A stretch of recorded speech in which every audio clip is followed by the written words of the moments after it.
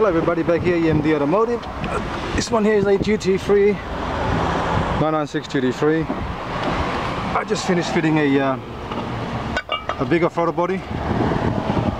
What is this one here? A bigger throttle body and a bigger plenum between the two intake.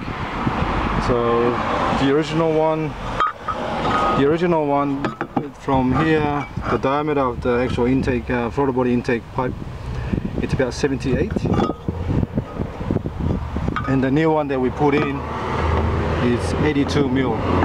So it's much thicker and bigger. So I just took it here took everything off and put in. Top back on now. Went for road test. Went for road test. It's really really responsive. More torque. And it's really quick uh, much much quicker response. That's what I found. Torque here down low and up top. So if you got a GT3 you need some new modified parts you can contact us at uh, EMD Automotive Ireland and we can uh, get your car sorted out. Thanks for watching and uh, please subscribe